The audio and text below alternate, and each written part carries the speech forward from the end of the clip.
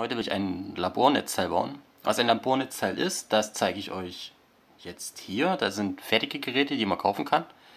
Aber kaufen kann ja jeder. Ich möchte gerne eins bauen. Dazu braucht man im Grunde genommen als Basis erstmal ein Netzteil, was eine Basisspannung zur Verfügung stellt. So wie das da hier. Das ist ein 240 Watt Netzteil, 24 Volt, 10 Ampere. Da brauchen wir ein DC, eine Power Supply. Das ist das wunderschöne Gerät aus China. Ähm, dazu werde ich noch mehr sagen. Dann brauchen wir dazu Bananen, Bananenbuchsen, ein Kaltgerätestecker, ein Kaltgerätebuchse mit Sicherung, ein An- und Ausschalter. Natürlich ein Stromkabel.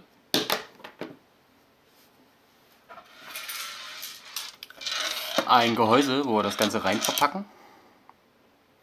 Ihr seht, es ist nicht schön verpackt, muss ich sagen. Das ist halt so ein Standard Kunststoff. Normalerweise sollte das wenigstens ESD-gerecht verpackt sein. Warum, zeige ich euch jetzt. Wenn wir das Ganze mal rausnehmen. So. An ein bisschen. Ich halte es mal ein bisschen höher, damit ihr es besser seht. Ähm, DC Power Supply ist eigentlich ja mein Rädchen zum Ändern der Spannung oder Strom. Hier haben wir Knöpfe zum Spannung und Strom einstellen. Hier haben wir Set, da kommt man im Menü rein und so weiter.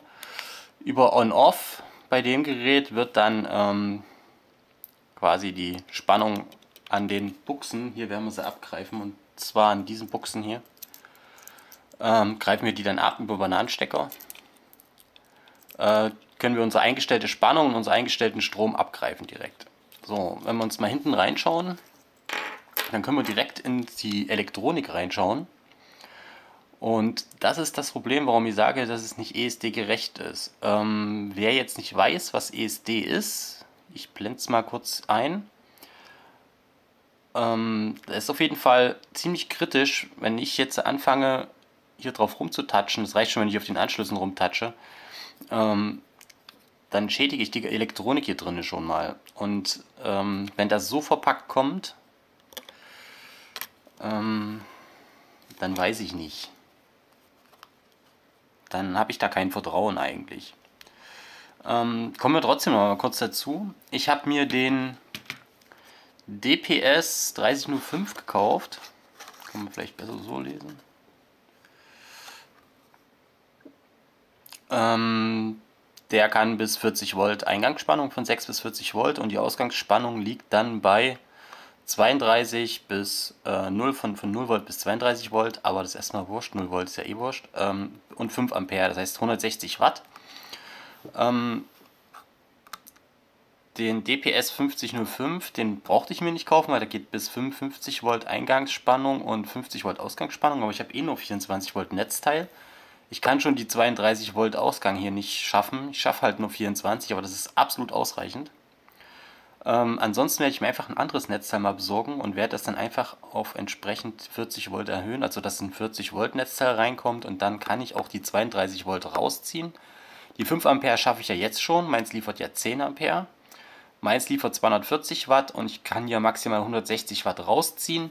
Das sollte im Normalfall aber auch reichen. 5 Ampere und ähm, 5 Ampere und 24 Volt sollten normalerweise völlig ausreichen. Äh, wer das eine Video letztens gesehen hat, wo ich den Motorsteuerung gemacht habe, da hätte ich gern 12 Volt gehabt.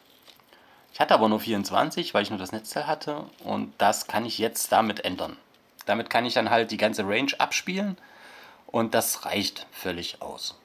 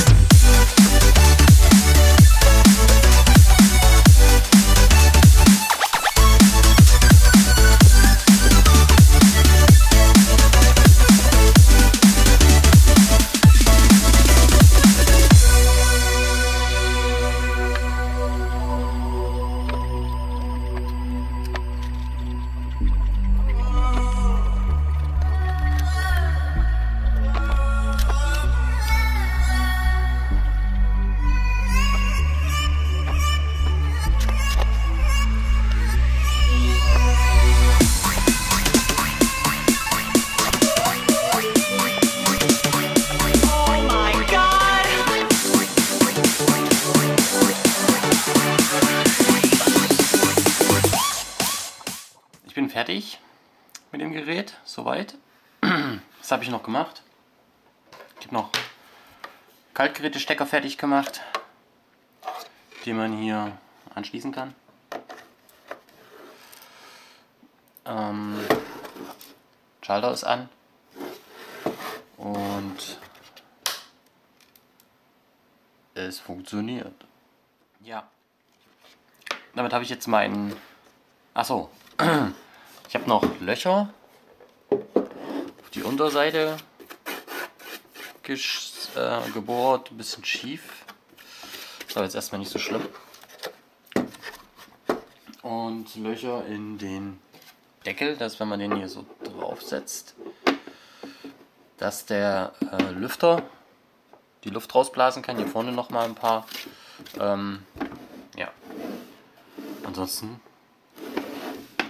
das Gerät eigentlich recht schick geworden, finde ich. Das war es jetzt von meiner Seite. Jetzt habe ich endlich mein Schalt äh, Labornetzteil. Und ja,